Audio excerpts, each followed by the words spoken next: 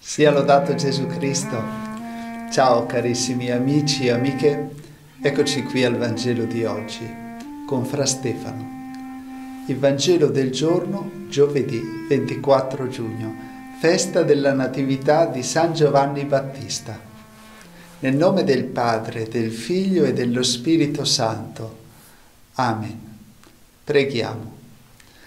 O Dio che ci hai suscitato San Giovanni Battista, per preparare a Cristo, Signore, un popolo ben disposto, concedi alla tua Chiesa la gioia dello Spirito e guida tutti i credenti sulla via della salvezza e della pace. Per Cristo nostro Signore. Amen. Il Signore sia con voi. Dal Vangelo secondo Luca. Gloria a te, o oh Signore. Per Elisabetta si compì il tempo del parto e diede alla luce un figlio. I vicini e i parenti udirono che il Signore aveva manifestato in lei la sua grande misericordia e si rallegravano con lei. Otti giorni dopo vennero per circoncidere il bambino e volevano chiamarlo con il nome di suo padre, Zaccaria.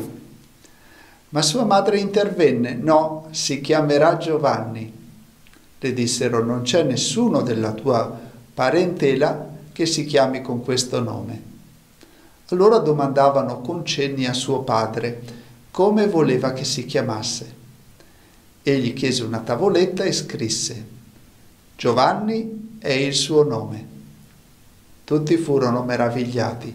All'istante gli si aprì la bocca e gli si sciolse la lingua e parlava benedicendo Dio.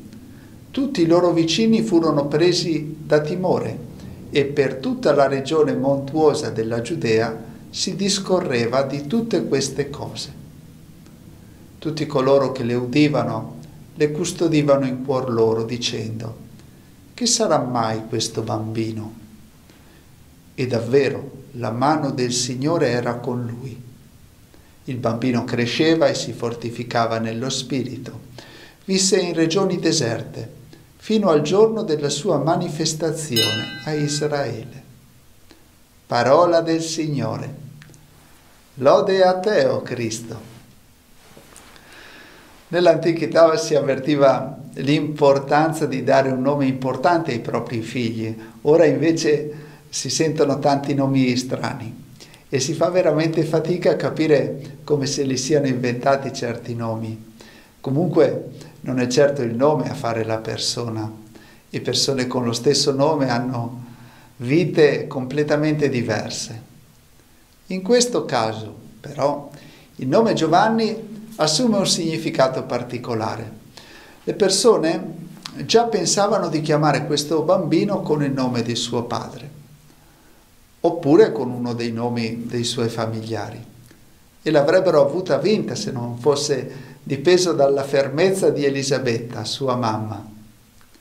Elisabetta dice no, si chiamerà Giovanni. È bellissimo questo no, deciso di Elisabetta. Sembra quasi l'opposto del sì di Maria. Santa Maria aveva detto il suo sì a Dio nel momento dell'annunciazione. Sì, si compia in me la tua parola. Elisabetta dice il suo no ma non lo dice a Dio, lo dice alla gente che voleva spingerla a rispettare le usanze. Se lei avesse seguito le usanze, non avrebbe obbedito a Dio, che già le aveva suggerito il nome di Giovanni.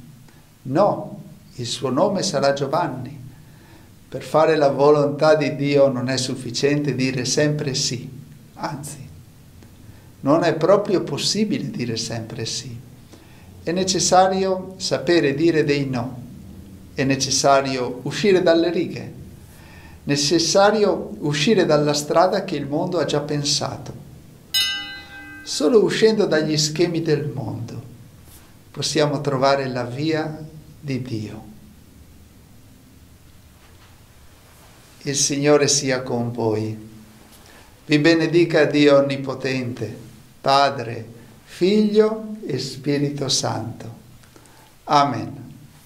Ciao, buona giornata e anche questo giovedì, come tutti i giovedì. Dedichiamo le nostre preghiere ai fratelli e sorelle che soffrono fisicamente e spiritualmente. Preghiamo anche per i loro familiari e per le persone che si prendono cura di loro. Ciao ciao, abbi cura di te. Grazie per l'ascolto del Vangelo e per la vostra preghiera.